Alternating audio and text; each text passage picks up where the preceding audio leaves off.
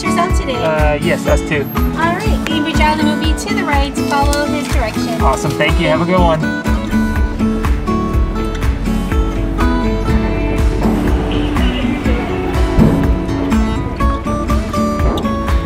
Hello again, this time from Seattle, Washington, or actually, more accurately, just outside the city because we have waved goodbye to Seattle and we are on a new adventure today. We are heading right now to Bainbridge Island to get to Olympic National Park. You guys, Another one for the count. I have been waiting so long to go to Olympic. That's part of the reason I wanted to come up here to the Pacific Northwest the whole time. We've gone to so many national parks so far, and this one is like the top of my list of where I want to go with the rainforest and the different climates, the mountain ranges, and the ocean on the west coast. It's going to be beautiful. This is our first time tent camping, well, together at all, and I can't remember the last time I tent camped. Like maybe childhood? I don't know. It's gonna be wild. Today's plan, we're on the ferry right now. We're gonna go all the way over to Bainbridge and then on to the other side. We're camping just outside of Forks, Washington on the west coast of things, and we're gonna get in, get set up, maybe do a little beach action for dinner. Yeah, a little beach sunset, have a little dinner out there. So that's the plan. We're gonna take a look around the boat for a bit, see if we can spot some whales. I hope so. Supposedly you can sometimes see orcas. No hope though, but let's go take a look.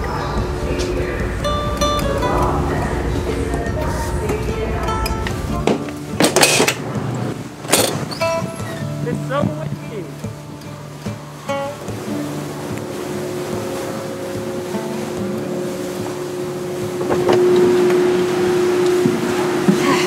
Well, whale, no whales. No whales. That's all right. Pretty views. Great views of the city too. Yes. All of Seattle, downtown. Bainbridge is gorgeous. Looks like Yeah. the place to be. But we're leaving. We got places to go. Let's go. Let's go, kids.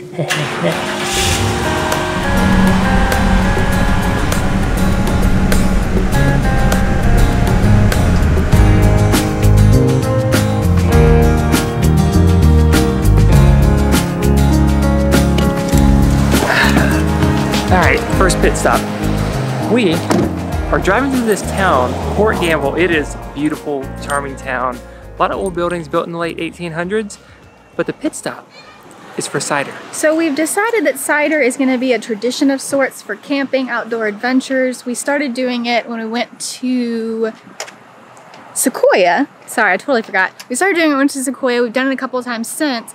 And I did, in fact, buy some cider for us before this trip. Funny enough, Jordan said he didn't like it at all, and yet somehow we managed to drink all of it. So we were talking That's about, good. oh, we should stop into a town and grab some. And we're going down the road, and we passed through Port Gamble, and it said beer and cider to go. And I said, hold up, turn around. So we're gonna pop in and just see. We don't know this place at all, but let's see what they Hopefully have. it's good.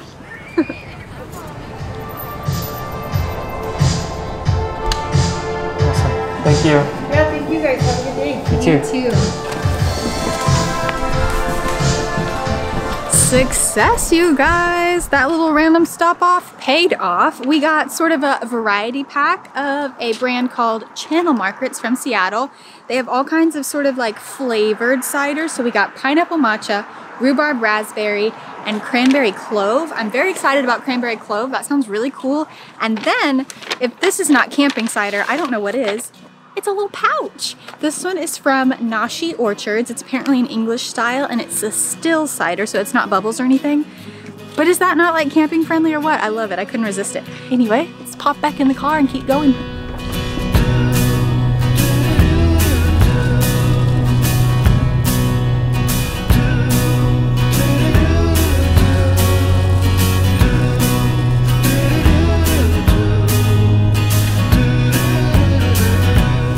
We're looking for our space. We're looking for number 14.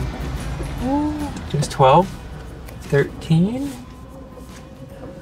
There we are, number 14. We found this place on Airbnb. We'll link it below as we always do. And we've just arrived our little piece of Washington. Wow, the moss and the trees, they are incredible. Let's take a look at where we are going to call home. Right there, we're gonna put a tent. I think Jordan's grabbing the tent and the chairs right now. But we have to hurry. We didn't really mention this, but we missed the ferry we intended to take. So we are very much behind schedule. So we're gonna try and make this snappy and then go catch the sunset and have some dinner because I'm beyond hungry at this point. So let's pitch a tent. All right, so we rented our camping gear from this place called Kit Lender. You can go and rent different packages, a tent, chairs, sleeping pads, sleeping bags. We had a whole kit. It was pretty cool. It came like two days before today, and then when we get back, we just basically ship it back to them. I don't want to run, run out of uh, daylight, so we're gonna get to setting up real quick so we can hurry up and go watch the sunset at the beach.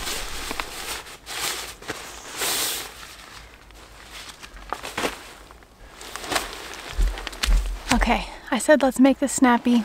Let's really make this snappy. Ta-da! Between y'all and me, I've always wanted to do a transition like that, so thanks for humoring me. Not too bad, huh? There was no arguments, there was no fighting, but it's 7.50, sunset's in like half an hour, we're gonna go over to the beach, have a little dinner.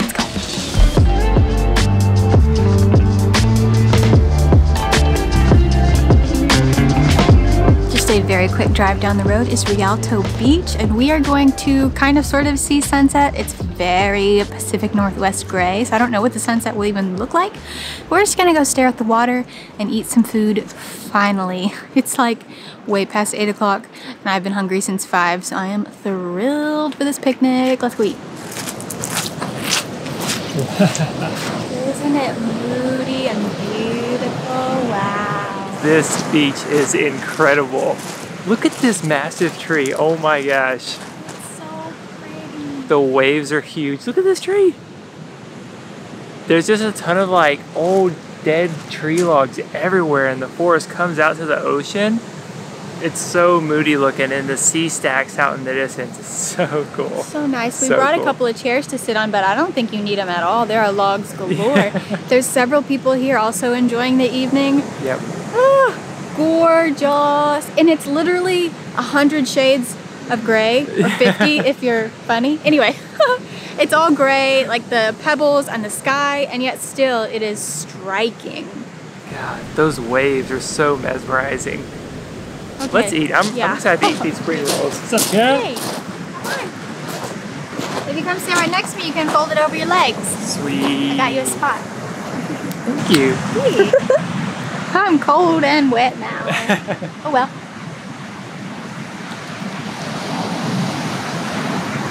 Oh, that's so good.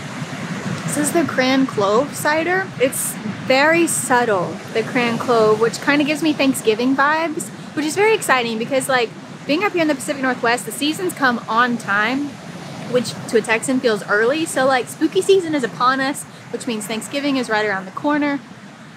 I know I'm rambling, but this is delicious, is the moral of that story. I was really channeling when we were on our Halong Bay cruise and we did that little mini cooking Yes, class that and we was so made much fun. fried spring rolls. But you know, the wrapping is basically the same.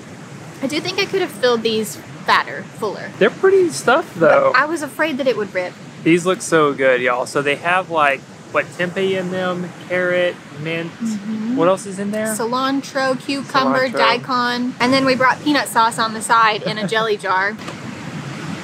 Mm, Not bad. these are good. For my first try, it's It's not so bad. good. Y'all, with the peanut sauce and everything, it was delicious. Perfect little picnic with the cider, cider. So good. Thank All right, you. I think that'll round out today. We're gonna finish this, enjoy the view, go to bed, and we'll see y'all in the morning for a full day at Olympic National Park. Good night.